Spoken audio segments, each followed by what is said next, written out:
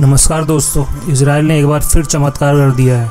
Israel अपने आधुनिक हथियारों से पहचाना जाता है। इसराइल के पास ऐसी टेक्नोलॉजी है कि दुनिया के किसी भी मुल्क के पास नहीं है, चाहे फिर वो अमेरिका ही क्यों ना हो। इसराइल ने दुनिया का पहला लेजर मिसाइल डिफेंस सिस्टम का सफलतापूर्वक परीक्षण किया है और पूरी दुनिया को दिखा दिया है कि आज भी इसराइल के सामने कोई टिकता नहीं है। आयरन डोम से लेकर घातक ड्रोन तक बनाने वाले इसराइल ने दुनिया में पहली बार लेजर मिसाइल डिफेंस सिस्टम का सफलतापूर्वक परीक्षण किया है। इस मिसाइल डिफेंस सिस्टम का नाम आयरन बीम दिया गया है। इस लेजर आधारित मिसाइल डिफेंस सिस्टम ने मोटर रॉकेट और एंटी टैंक मिसाइलों को अपनी एक ही वार से तबाह कर दिया। इसराइल के प्रधानमंत्री नेफ्ताली बेनेट ने बताया कि इसमें सबसे अच्छी बात यह है कि इसके एक वार के खर्च में केवल दो सौ ही आएगा।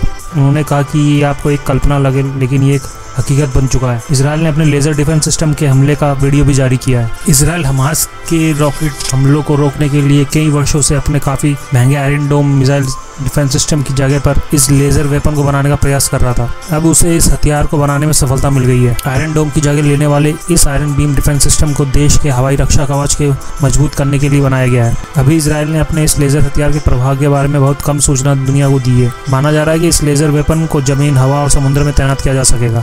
इसराइल का लक्ष्य है कि इसराइल की सीमा पर लेजर हथियारों को अगले एक दशक में तैनात किया जाए, ताकि देश की हवाई हमलों से सुरक्षा की जा सके। माना जा रहा है कि इसराइल ने गुरुवार को की गई इस घोषणा के ज़रिए अपने दुश्मन ईरान और हमास जैसे अन्य दुश्मनों को सख्त संदेश दे दिया है। बताया जा रहा है कि इस टेस्ट को पिछले महीने नेगेव रेगिस्तान में अंजाम दिया गया था। निफ्ताली बैनट ने इसराइल और गाजा के बीच 11 दिनों तक चले युद्ध की वर्षगांठ पर इस परीक्षण को ऐलान किया। इस युद्ध में उग्रवादी गुट हमास ने इसराइल पर 4000 से ज़्यादा रॉकेट दागे थे। इसराइल का कहना है कि उसका आयरन डोन सिस्टम बहुत सफल रहा है।